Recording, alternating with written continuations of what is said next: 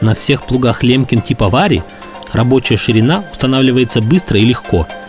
Будь то узкая посевная борозда или широкая зимняя борозда, будь то меняющиеся почвенные условия или почвы с разным уровнем сырости, благодаря гидравлической регулировке ширины захвата пахать становится приятной задачей даже при тяжелых условиях. То, что сейчас можно регулировать прямо из кабины трактора, было достигнуто благодаря отлично продуманным детальным решениям.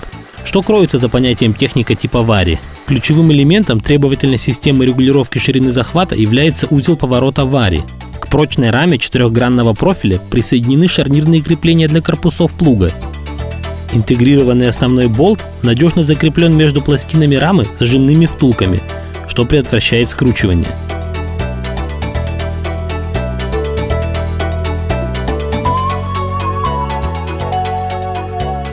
Сам кронштейн оснащен зажимными втулками.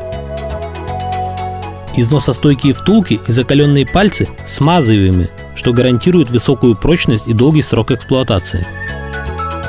Пункт крепления узла поворота находится между рамой и стойками поворотного узла, то есть вблизи от регулируемых корпусов плуга. Таким образом повышается не только стабильность, но и снижается нагрузка на подшипниковые узлы и на комплектующие плуга – случае износа можно заменить каждую часть в отдельности.